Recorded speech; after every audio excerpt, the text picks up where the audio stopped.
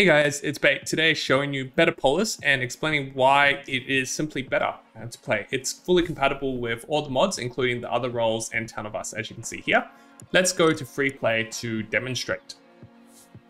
It'll be easier if we make ourselves the imposter. And the main change, my favorite change, is they've removed vitals from this location here. Before vitals was over here, and what that meant is late game, you'd have a lot of people checking vitals and then checking admin table and then shuffling back to vitals. Or I like to call it the Polus shuffle. And this causes a lot of inadvertent stacking in this area. Uh, but now they've basically moved vitals to medbay instead. Uh, this makes sense from a lore perspective. I mean, where would you expect vitals? Um, obviously in the medical department or the doctor's office or medbay in this case.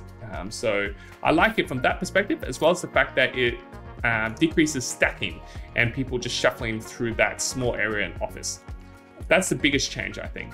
And they've also made another change, which is basically they've replaced the charter course task with reboot Wi-Fi, which means that crewmates can start the reboot Wi-Fi here, but they have to wait 60 seconds or subsequent round before they come up and finish the task. That essentially gives crewmates another reason to come up to dropship and through that, it provides another opportunity for killers to kill and means that people will have to actually check this place for bodies now, uh, which is really good. Because they've moved the reboot Wi-Fi to the dropship, they've obviously had to move chart the course um, back into uh, to comms instead, which they have over here.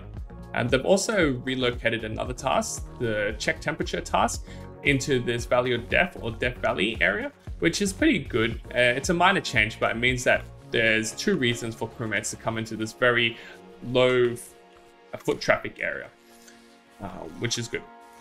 Um, they've also made a change to the vent systems. Essentially, they've added this vent. Previously, you could vent to just outside a lab, but now this vent is connected to this triple vent um, in electrical, in O2, and outside of electrical here.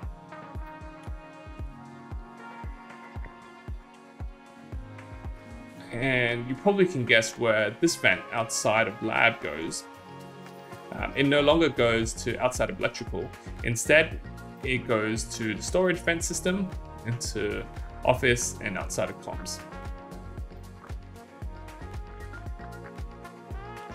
So I really like these changes. Um, I think they're great, especially for a map that most people play, um, be that vanilla or modded Among Us and I think it makes the map so much better.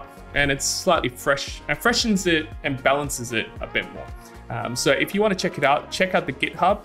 Um, link will be in the description. There's two ways to install it. Number one is the all-in-one pack, which is basically you download the all-in-one pack, um, extract the contents into the game folder, that probably wouldn't be my recommended path if you already have the mod or a mod installed. And what I would do instead is basically download the custom install um, DLL file and basically copy and paste it into the folder Among Us slash BEP forward slash plugins, which you would have if you have the other roles or Town of Us.